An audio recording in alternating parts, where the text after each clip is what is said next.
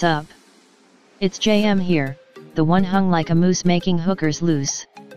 Today I have a very mediocre video here, but I bet you don't even know what mediocre means you Alabama Hot Pockets. Well, this is another mod menu review from GTA. This mod menu is called LTS. Otherwise called Last Team Standing. Last Team Standing have multiple products such as an RTM tool and a SPRX menu. I must admit their RTM tool looks pretty handsome, but instead, we are talking about the mod menu here. So, this menu costs more than Serendipity. 5 whole dollars more. To save you hours of time working that out.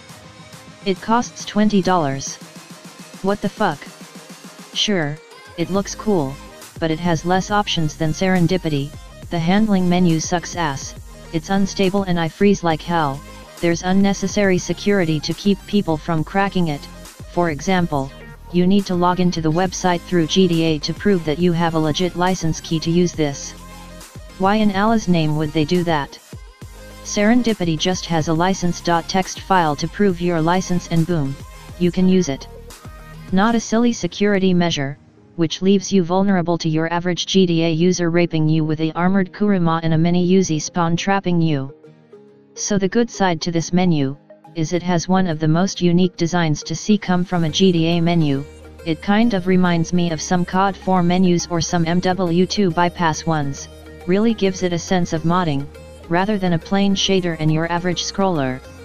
If you have any problems with this menu, expect to wait a while, as the website take an unbelievable amount of time to respond to your bug reports or questions, if you want to reply to what a admin has said, expect to open up a new ticket as the current one deletes itself making your life more miserable than what it already is.